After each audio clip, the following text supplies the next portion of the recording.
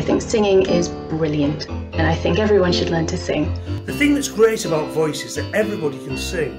You can look at musical theatre, you can look at pop, and you can look at classical and so many more options. You always have your instrument there with you. It's the only instrument that we carry in our bodies, it's right here. You don't need to pack any special equipment. So you can always sing. Gives you lots of opportunities to go to different places. So you get to perform all over the country. You could even perform all over the world.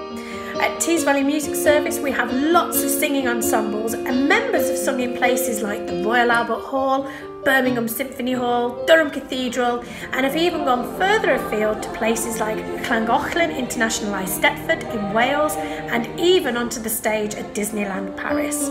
You can travel and sing in opera houses or theatres. Singing can take you to all sorts of places, especially if you join a choir.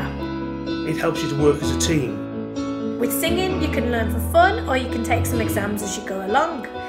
You could even sing on films or release your own soundtrack. Most importantly, it's fun.